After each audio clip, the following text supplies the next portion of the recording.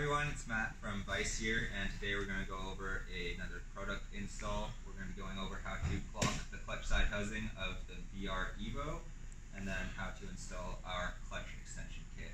Now this is the clutch extension kit for the 13 to 18 Ram 1500.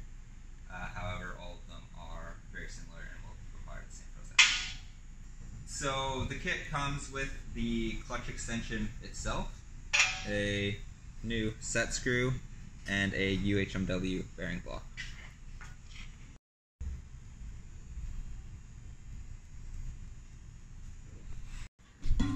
Okay, so we're to go over clocking the clutch side housing.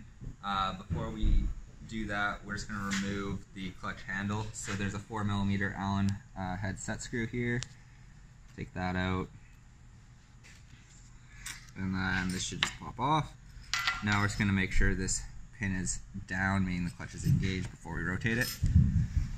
Then there are seven, again, four millimeter Allen head set screws around the circumference that we're going to remove.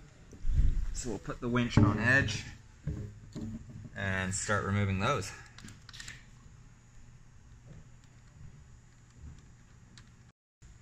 Alright, with all those uh, fasteners removed, we're just going to slowly rotate this 180 degrees and then we're going to reinstall the fasteners.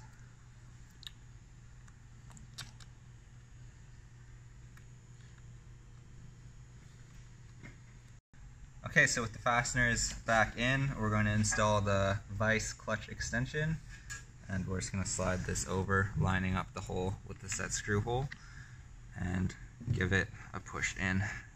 It's a tight fit to press that O-ring and set the put in the new set screw. And we're just going to make sure that the operation works. Which it does. Um, we're also going to keep the handle and the factory set screw for later when this is installed in the truck.